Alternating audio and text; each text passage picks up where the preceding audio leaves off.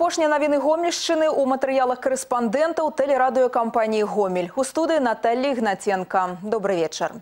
Сёння ў Беларусі пачалося датэрміновае галасаванне па выбарах прэзідэнта краіны. На Гомельшчыне яно праводзіцца на 1027 участках. Кантраляваць ход выбараў у рэгіёне будуць амаль 5 тысяч назіральнікаў. З раніцы на адным з участкаў пабываў Олег Сенціроў. 56-й выборчий участок знаходится у фойе клуба акционерного товариства «Гомельбудматериалы». Члены выборчей комиссии и назиранники почали приходить недзе за полгодины до початку датэрміновага голосования. Яшчэ праз 15 хвілін старшыня комиссии Виктор Лагун проводить апошні инструктаж. Увогуле свои обовязки докладно ведая кожны. До проведения выборов тут рыхтаваліся и нават приняли удел у деловых гульнях с моделированием усіх магчымых ситуаций. У нас э, участковая комиссия и члены комиссии отдельные товарищи уже избираются не один раз. Поэтому фактически они уже участвовали и в выборах и президента Республики Беларусь, участвовали в парламентских выборах и депутатов местные советы. Но часть, конечно, есть, которые впервые принимают участие. И поэтому, когда проходил тренинг у нас в районе, они тоже принимали участие в этом тренинге. Абавязковая процедура, якая проводится у присутности назиральников, опечатывание урны для голосования, демонстрация скрыни усім присутным, и она абсолютно пустая. И далее непосредственно сам процесс пломбирования. Теперь яе ускрыюць только после завершения выборов 11 кастрычника. До речи, сёлета на Гомельщине упершынёў выкарыстаюць больше 600 празрыстых урнаў. Их опечатывание отбудется у день основного голосования. А покуль самым первым выборщиком, який пришел на 56 участок, стала Инна Обехтикова, у неделю, кажа, прийти на участок не зможа, а принять удел у выборах необходимо обовязково. Пришла досрочно проголосовать, потому что надо было исполнить свой гражданский долг, во-первых. Вот. А во-вторых, потому что я в воскресенье работаю, я не смогу попасть на участок для голосования. Вот я решила сегодня как бы более свободно прийти проголосовать. Сярод тых, хто прыйшоў на выбарчы ўчастак у першы дзень датэрміновага галасавання і Крысціна Цыганкова. Сёлета ей исполнілася 18 гадоў і гэтыя выбары для яе першыя ў жыцці. Кажа, што вельмі хвалявалася, але выбар зрабіла свядома з улікам сваіх далейшых жыццёвых планаў. Сёння яна працуе прадаўцом у адной з крам, але ў наступным мае намер атрымаць вышэйшую адукацыю і адкрыць уласную справу. Я планирую пойти поступать на психолога в Гомельский университет имени Скорыны. Э, в дальнейшем планирую открыть свое частное дело. Галоўная задача для членаў камісіі правесці выбары ў строгай адпаведнасці з дзеючым нацыянальным заканадаўствам, што тым не менш не выключае творчага падыходу да справы. Урэшце, калі на участку можна не толькі прагаласаваць, але яшчэ і ўбачыць нешта цікавае, гэта толькі на карысць. Да выбарчага працэсу на шмат якіх участках падышлі не толькі з усёй адказнасцю, але і творча.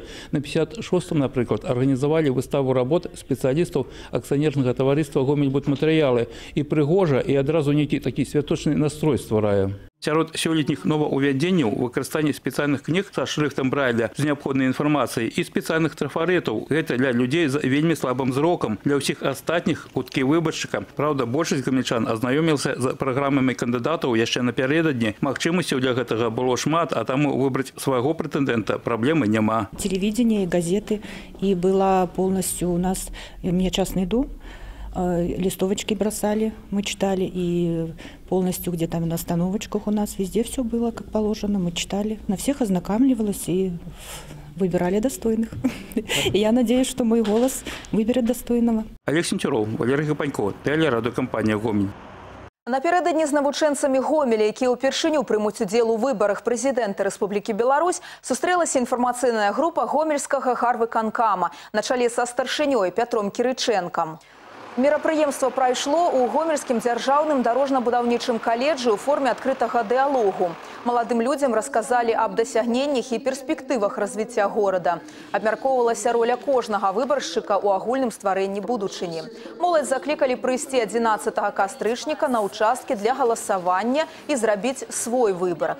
Каля 10 пытанняў да Петра Кірычэнкі паступіла і ад навучэнцаў. Большасць з іх тычылася працаўладкавання і будаўніцтва ў горадзе новых громадских установ. На кожное пытание был компетентный отказ. Я, во-первых, хочу донести до них вот э, и успехи, и проблемы наши городские, ну и, конечно, тоже их послушать.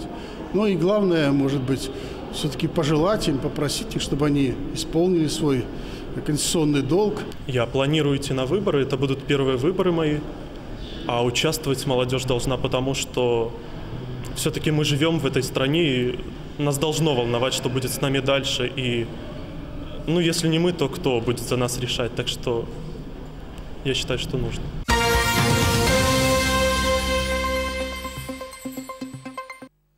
Рэспубліканскі навукова-практычны цэнтр радыацыйнай медыцыны і экалогіі чалавека флагман айчыннай медыцыны і навукі. Пачынаючы з верасня ва ўстанове пачаў дзейнічаць новы магнітна-рэзанансны тамограф, апарат, які дазваляе выявіць нават нязначныя змяненні ў арганізме чалавека і такім чынам папярэдзіць цяжкія захворванні. Падрабязнасці ў матэрыяле Дмітрыя Котава.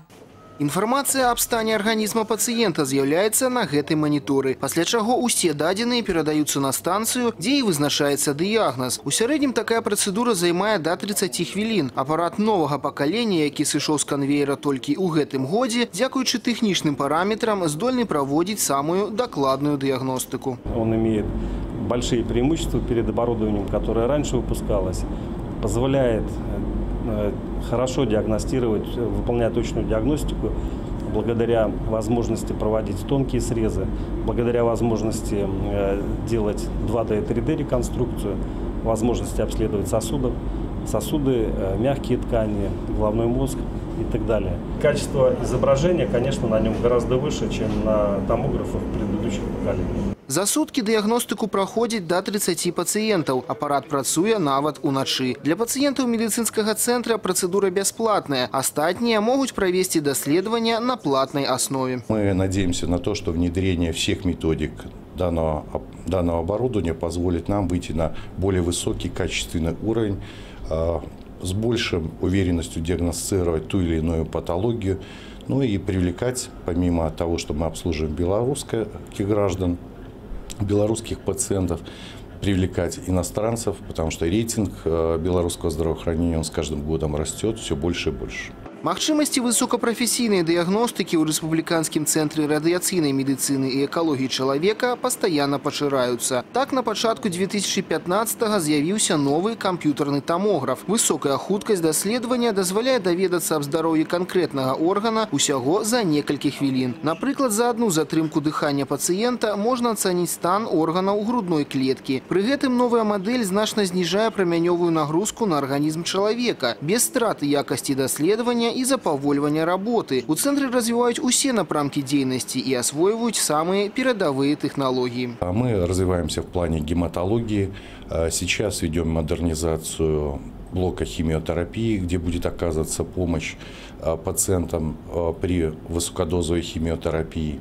Надеемся на то, что внедрим стволовую клетку, то есть двигаемся согласно времени. Дмитрий Котов, Валерий Гапанько, телерадиокомпания «Гомель». Да іншых тэм. Сёння супрацоўнікі абласной дзяржаўтаінспекцыі атрымалі новыя сучасныя прыборы, прызначаныя для забеспячэння бяспекі дарожнага руху і аховы грамадскага парадку. Падчас інструктажу, які праводзіцца перад тым, як інспектары павінны заступіць на службу, ім былі ўручаны персанальныя відэарэгістратары і планшеты. Дазор 77 або персанальны кішэнны відэарэгістратар усталёўваецца на форме супрацоўніку ДАІ.